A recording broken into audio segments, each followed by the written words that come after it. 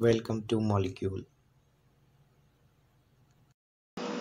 Lecture on Immunity and Types of Immunity.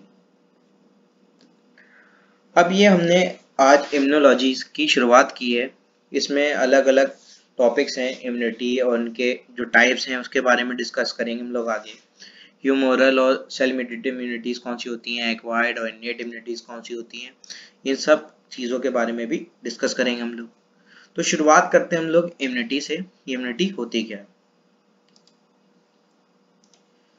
The ability of an organism to fight against the disease causing organisms and to resist infection ये एक ability होती है, एक क्षमता होती है किसी भी ऑर्गेनिज्म की कि वो फाइट करे, लड़े किसी ऑर्गेनिज्म के खिलाफ और अपने को बचाए और जो इन्फेक्शन करते हैं, जो बीमारी होती है उससे बचे। तो ये एक क्षमता है किसी भी ऑर्गेनिज्म की जिसकी वजह से जो ऑर्गेनिज्म होते हैं, वो फाइट करते हैं। फाइट करने की एबिलिटी ही कोई हम लोग कहते हैं इम्यूनिटी अब ये पैथोजेंस जो होते हैं, वो कई तरीके के हो सकते हैं। वायरस हो सकते हैं बैक्टीरिया हो सकते हैं, जो हमारे बॉडी में डिज़ीज़ कॉज करते हैं। अब कुछ ऐसे लोग होते हैं जिनकी इम्यूनिटी बहुत स्ट्रांग होती है, कुछ ऐसे होते हैं जिनकी बहुत वीक होती है। मगर स्ट्रांग इम्यूनिटी का मतलब ये नहीं होता है कि आपके इन्फेक्शन नहीं हो सकता। उनके इन्फेक्शन हो भी जाता है बट उनको पता नहीं चलता, क्योंकि सिम्टम्स बहुत माइनर आते हैं। क्योंकि उनकी इम्यूनिटी ऐसे काम कर रही होती है, इतनी स्ट्रांग होती है कि वो जल्द से जल्द जो पैथोजन और बैक्टीरिया जो भी आया है, उसको मार देती है। जो वीकर इम्यूनिटी जिनकी होती है तो उनमें छोटी से छोटी बीमारी बहुत लंबी चलती है। अब जैसे हम एचआईवी देख लें, इनकी तो इम्यूनिटी बहुत ही वीक होती है, क्योंकि इनमें helper cells T helper cells जो होते हैं, वो नहीं होते हैं। तो जिसकी वजह से इनमें छोटी छोटी बीमारी जो होती है, बहुत लंबे समय तक चलती है। अब आजकल जो कोरोना वायरस चल रहा है तो इसमें भी आप देख सकते हैं, जल्द से जल्द वही लोग रिकवर कर पाते हैं जिनकी इम्यूनिटी बहुत स्ट्रांग होती है। जिनकी इम्यूनिटी बहुत वीक होती है, वो जल्दी रिकवर नहीं कर पाते। तो जो हमारे, हम इंडियंस हैं इंडियंस की इम्यूनिटी बहुत स्ट्रांग होती है, जिसकी वजह से भी हमारे में जो फाइटिंग जो कोरोना के खिलाफ फाइट कर रहे हैं तो उसमें हम लोग ज़्यादा सक्सेसफुल हैं कंपेयर टू वर्ल्ड क्योंकि वर्ल्ड में जो ज़्यादातर लोग हैं, उनकी इम्यूनिटी इतनी स्ट्रांग नहीं होती। इंडियंस की बहुत स्ट्रांग इम्यूनिटी होती है। और जिससे कि हम बच भी सकते हैं, ये जो जितनी भी बीमारियाँ होती हैं। क्योंकि एक ही बीमारी थोड़ी ना है। आपकी बाकी जो वायरसेस होते हैं कॉमन कोल्ड और टाइफाइड जो बैक्टीरिया हमारा, ये सब, इनसे से भी हम लोग फाइट कर सकते हैं।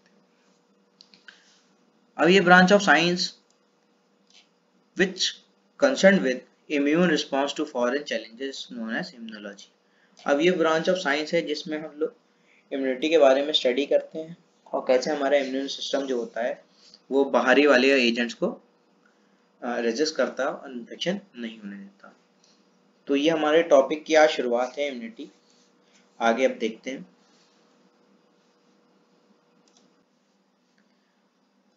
अब टाइप्स ऑफ़ इम्यूनिटी देख लेते हैं।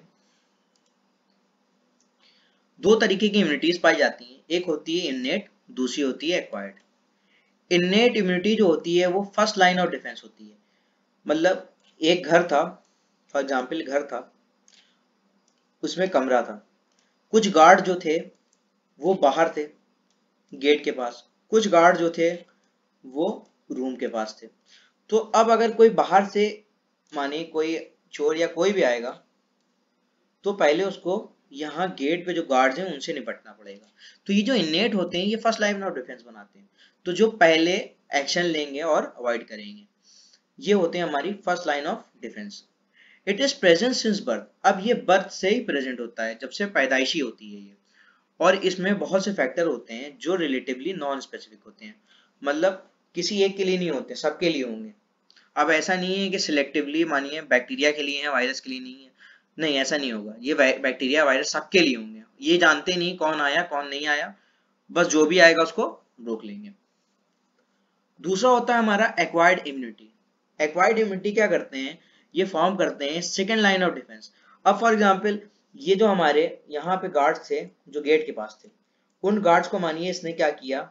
इनसे कैसे भी के, बच के ये वायरस निकल आया। इनको पेनेट्रेट कर दिया, जैसे भी किया, जो भी किया, ये आ गया।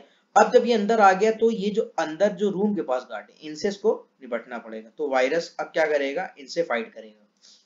तो अब ये जो हमारे वाले गार्ड्स हैं, ये वायरस को पकड़ेंगे, उसको मारेंगे और फाइट करेंगे। तो आपस में फाइट चलेगी।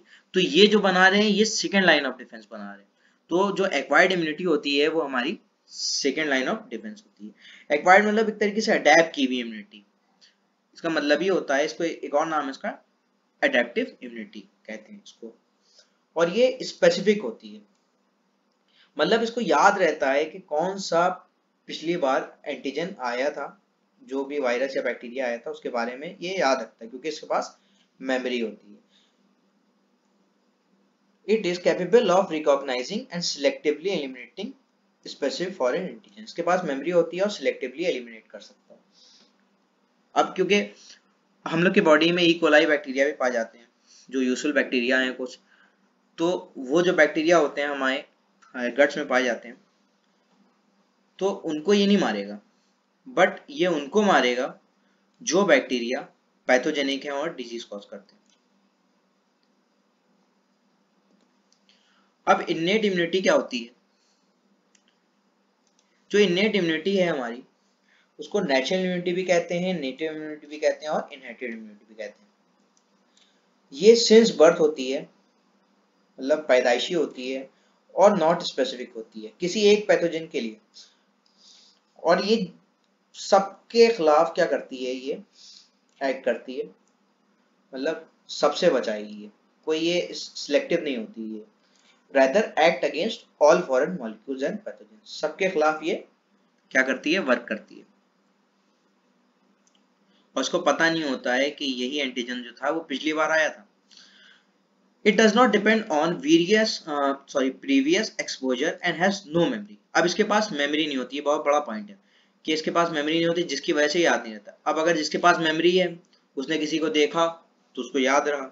अब इसके पास मेमोरी ही नहीं होती है तो ये क्या करता है? जान नहीं पाता और रोकता सबको है। किसी को भी अंदर नहीं आने देगा। It provides the first line of defence against pathogen बताया था कि फ़र्स्ट लाइन ऑफ़ डिफेंस होती है। जो गेट पे गार्ड्स होंगे हमारे, वही फ़र्स्ट लाइन ऑफ़ डिफेंस होंगे। तो वो पहले रोकेंगे। अब जो इनेट इम्यूनिटी होती है, इसके कई बैरियर्स होते हैं। जो पहला बैरियर है हमारा, वो है हमारा फ़िज़िकल बैरियर जिसमें स्किन और सिक्रीशन आते हैं। सिक्रीशन में स्वेट सुबेशियस ग्लैंड और ये सब सिक्रीशन ऑयल सिक्रीट जो होता है, ये सब होता है। इसमें इंजाइम्स होते हैं। जो इनको क्या करते हैं फॉरेन एंटीजेंस को रोकते हैं। दूसरे होते हैं केमिकल बैरियर जिसमें साइटोकाइंस आते हैं और कॉम्प्लीमेंट प्रोटीन आते हैं। अगला है सेल्यूलर बैरियर्स सेल्यूलर बैरियर्स जो होते हैं हमारे, उसमें फाइगोसिटिक सेल्स आते हैं या NK cells nature blood cells और इन्फ्लेमेटरी बैरियर्स आते हैं, जिसमें स्वेलिंग और ये सब हो जाती है। तो ये थे इनके फॉलोइंग बैरियर्स, ये भी हम आगे डिस्कस करें, इनको इंडिविजुअली डिस्कस करेंगे कि फ़िज़िकल बैरियर कौन से होते हैं केमिकल बैरियर्स कौन से होते हैं सेलुलर कौन से होते हैं और इन्फ्लामेटरी बैरियर्स कौन से होते हैं। अब दूसरा है हमारा एक्वायर्ड इम्यूनिटी ये बहुत इंपॉर्टेंट है। It is not present from birth and develop during an individual life time यानी कि ये पैदाइशी नहीं होती है। ये लाइफ टाइम में कोई भी ऑर्गेनिज्म क्या करता है डेवलप करता है। इट इज़ पैथोजेनिक स्पेसिफिक यानी कि ये पैथोजन स्पेसिफिक होती है सिलेक्टिवली एलिमिनेट करती है। क्योंकि इसके पास मेमोरी होती है and capable of recognising and selectively eliminating specific foreign antigen अब ये स्पेसिफिकली uh, कर सकता है क्योंकि बहुत से बैक्टीरिया हमारे उसमें भी जो uh, मानिए जो इंपॉर्टेंट बैक्टीरिया हैं हमारे बॉडी में पाए जाते हैं। तो उनको एलिमिनेट नहीं करेगा, ये सिलेक्टिव एलिमिनेट करेगा। मतलब वो सिर्फ़ पैथोजन को करेगा। मानी पैथोजन फॉर एग्जांपल टाइफाइड आ गया था हमारे बॉडी के अंदर तो टाइफाइड ही को करेगा एलिमिनेट अब वो टाइफाइड क्या करेंगे? वो जो टाइफाइड के खिलाफ एंटीबॉडीज बनाई है इसने, वो किसी और के खिलाफ वर्क नहीं करेंगी। तो ये क्या होता है? स्पेसिफिक होता है। ये स्पेसिफिक पैथोजन के लिए सिलेक्टिव होता है, बिल्कुल। और ये सेकेंड लाइन ऑफ़ डिफेंस बनाता है। इसके दो रिस्पॉन्सेज होते हैं। एक प्राइमरी रिस्पॉन्स होता है, एक सेकेंडरी रिस्पॉन्स होता है। प्राइमरी रिस्पॉन्स क्या होता है? When it encounters the pathogen for the first time जब हमारा इम्यून सिस्टम किसी भी पैथोजन से पहली दफ़ा मिलता है तो उसको प्राइमरी रिस्पॉन्स कहते हैं। और ये रिस्पॉन्स जो होता है, वो लो इंटेंसिटी का होता है। दूसरा होता है हमारा सेकेंडरी रिस्पॉन्स जो सब्सिक्वेंट इंकाउंटर्स पे होता है। माने दोबारा वही इंकाउंटर हो जाए हमारे पैथोजन दोबारा आ जाए हमारे बॉडी में। और ये हाई इंटेंसिटी का होता है। अब मैं समझाता हूँ ये कैसे। देखिए प्राइमरी रिस्पॉन्स मतलब अब आप अपने घर में रहते हैं। ये आपका घर है, ठीक है? अब यहाँ से कोई मानी चोर आ गया, कुछ आ गया मानी चोर मतलब कोई यूँ ही आ गया सेल्समैन आ गया, कुछ सेल करने। यहाँ पे सेल्समैन क्या था? सेल करने आ गया। अब सेल करने आया तो आपके दरवाजे पे आया। तो यहाँ पे आप निकल के आए। अब आपने देखा उसको। आपने पूछा, भैया, तुम्हारा नाम क्या है? क्या करने आए हो? क्या काम है? आपने बात की, ऐसे यहाँ पे आपने 10-15 मिनट ले लिया। आपने बात करी, सामान देखा, सब देखा, अब आपने लेना नहीं है आपको सामान यहाँ।